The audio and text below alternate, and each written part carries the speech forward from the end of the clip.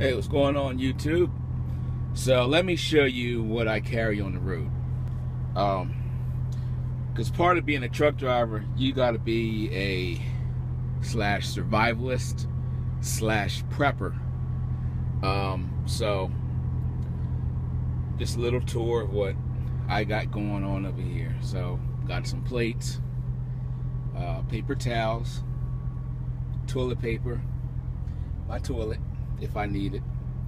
Um, here's the lighters. I ain't gonna explain what that is. Um,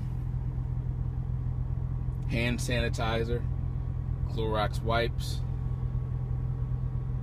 Uh, there's a three and a half gallon water jug uh, that I take every week, fill it up every week, you know, top it off when I don't drink.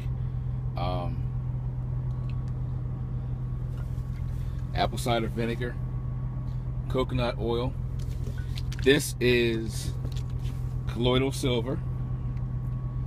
I got some, uh, what is that, peanut butter. I got from one of them Ollie's or Big Lots or something. Uh, there's jelly right there. And then in there I got canned tuna, uh, canned tuna, got canned salmon, canned chicken. I got pizza, not pizza, I'm sorry. Uh, peaches, got peaches in there. Uh, Clif bars. I got over here. There's some more granola bars up in there. And I got some, some of those little rice uh, things where you add hot water to. Um, so these, this is basically what I carry during the week. Uh, these, this always stays in the truck. And then here's inside the fridge. You know, I buy salads uh, beginning of the week and eat salads. And there's some yogurt in there, some pudding, some pineapple, which are almost gone. Bought a couple of those. I have apples in the front and bananas. So it's uh, important to have all these things because you never know when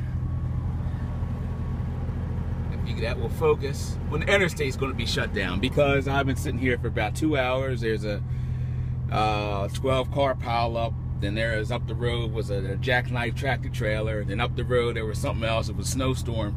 So and it was only going to be like two or three inches, something like that. But you know, people get out here and they do what they do. But um, um, that's all just a quick video. And what you don't see here is uh, underneath the bunk I have uh, uh, a big bottle of um, uh, Palmolive, Palmolive, I think that's how you say it, Palmolive soap. Uh, dish soap which is good for washing hands. It's a little more watery than um, than Dawn dish soap. So you know once you're cleaning your you know you get if you get your hands dirty or whatever you can uh, you know use that and clean your hands off and then um, have another container of water, you know, just for washing hands and, you know, get it done that way. But that's just a little tour. As you can see, I am a uh, somewhat of a survivalist slash prepper. Um, so, you know, oh, one more thing I forgot to mention. Just saw it there. Silver. What happens when you're out here and you know, with all the talk about the economy and the dollar crashes, what are you going to use?